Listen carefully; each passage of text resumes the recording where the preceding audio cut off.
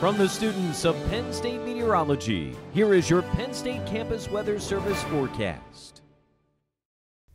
Good morning, State College. I'm student meteorologist Tyler Danzig. Here's a live look outside Beaver Stadium. As you can see, we don't have a whole lot of clouds out there, and that's because we're going to get some high pressure that's going to cause some clearing into the region over the next few days.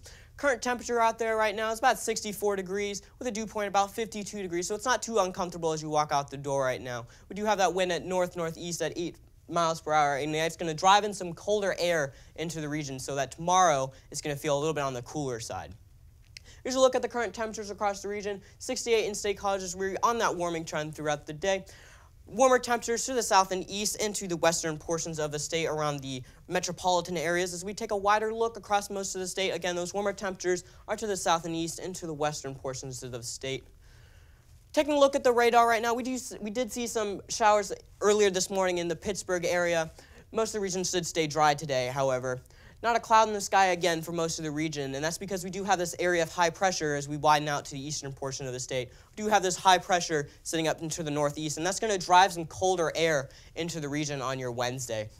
This low pressure out into the Midwest is actually occluding right now, so that should dissipate in the next few hours, next few days, actually, and it shouldn't affect the region much at all. Here's a look at your future cast. Temperatures later this evening, 65 across most of the region, temperatures ranging into the middle 60s. And then as we take a look into your Wednesday, again, some patchy fog is possible into the north central portions of the state. That should burn off by, this by Wednesday afternoon.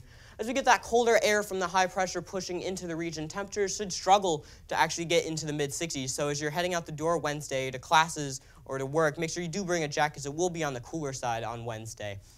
As you take a look into your Wednesday evening, again, those temperatures not really changing very much as we have that clear skies. So temperatures into the evening, again, make sure you do bring a jacket as they're going to be in the low 60s. Taking a look at your Thursday, again, we do see some patchy fog develop across the Allegheny Mountains into the north central portions of the state again. Again, this should burn off by the afternoon. Temperatures are going to steadily rise, are going to steadily rise, however, as we do have a shift in the winds into the south and east now, and that's going to drive in some higher temperatures across most of the regions. We do see 67 on Thursday afternoon in State College and some warmer temperatures into the upper 60s and lower 70s for the majority of the state. Looking ahead today, we can expect a high of 74 degrees. Again, mostly sunny, not a cloud in the sky. I don't see any at all. Um, those eastern easterly winds at three to five miles per hour are going to drive in some colder air into the region and cause some colder temperatures for tonight and into tomorrow morning. And as we do see those colder temperatures only reaching into the low 50 tonight, so it's going to be a very chilly night tonight. Patchy fog developing late into this this evening and into tomorrow morning. And here's a look at your seven-day forecast. Again, mostly sunny skies for the majority of the week temperatures are actually above average for this time of year as we do have an average high temperature of about 71 degrees. Um, we do get some warming temperatures later this weekend on Friday, Saturday, and Sunday ahead of a cold front, which will be our next rainmaker, which is only into later this week into early next week into early next week, as you do see that chance of rain on your Monday. Otherwise, the region should stay mostly dry for the majority of the week. A beautiful week ahead.